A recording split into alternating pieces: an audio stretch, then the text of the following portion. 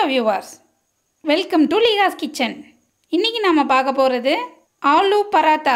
தேவையான பொருட்கள் உருளைக்கிழங்கு கோதுமை மாவு கொத்தமல்லி இலை மஞ்சள் தூள் மிளகாத்தூள் கரம் மசாலா உப்பு எண்ணெய். முதல்ல ஒரு பவுலில் ரெண்டு கப் கோதுமை மாவு சேர்த்துக்கோங்க. தேவையான அளவு உப்பு ஆட் பண்ணிவிட்டு மிக்ஸ் பண்ணிக்கோங்க. தேவையான அளவு எண்ணெய் சேர்த்து மாவு பிசைஞ்சு எடுத்துக்கோங்க. இப்போ கொஞ்சம் கொஞ்சமாக தண்ணி சேர்த்து சப்பாத்தி மாவை இந்த மாதிரி பிசைஞ்சு எடுத்துக்கோங்க. மாவு காயாமல் இருக்கிறதுக்காக இது மேலே கொஞ்சமாக எண்ணெய் அப்ளை பண்ணி ஒரு ஆஃப் அன் ஹவர் ஊற வச்சுருங்க. மூணு மீடியம் சைஸ் உருளைக்கிழங்க வேக வச்சு மசிச்சு எடுத்திருக்கேன்.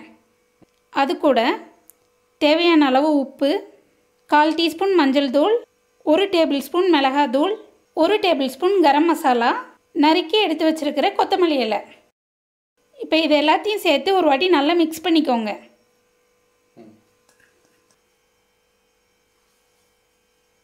இந்த மாதிரி உருண்டை கட்டி எடுத்து வச்சுக்கோங்க. ஆஃப் அன் ஹவர் ஊற வச்சு எடுத்துருக்கிற சப்பாத்தி மாவை இந்த மாதிரி நல்லா தேய்ச்சிட்டு உருளைக்கிழங்கு மசாலாவை வச்சு இந்த மாதிரி தேய்ச்சி எடுத்துக்கோங்க.